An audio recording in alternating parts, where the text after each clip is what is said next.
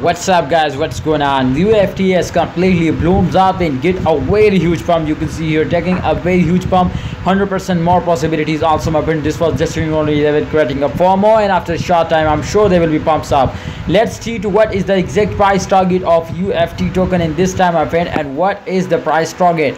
Remember if you are new to my channel click the subscribe button, press the bell icon for videos notification and one thing more. Join our premium telegram group. The link is in the description. Check it out as you can see this time one uh, uh so 17.88 percent you can see here the price was increasing of uft so chance my friend today will be hitting now half usd dollar but let's confirm this my friend but first of all if you look out the volume this is very important now so it is good now.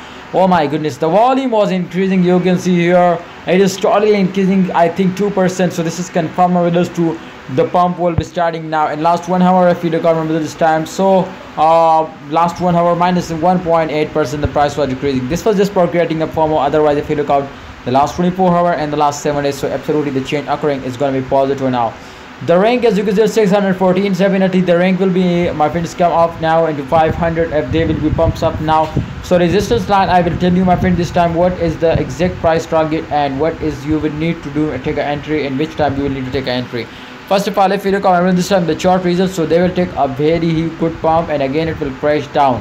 But again, this was take a very suddenly huge pump. This time also it was slowly, slowly moving, but I am sure they will be take a very huge pump. Alright guys, what is your price prediction? What is your technical analysis guys? Tell me in the comment box and hope you enjoy this video. So kindly like and subscribe this channel for more videos.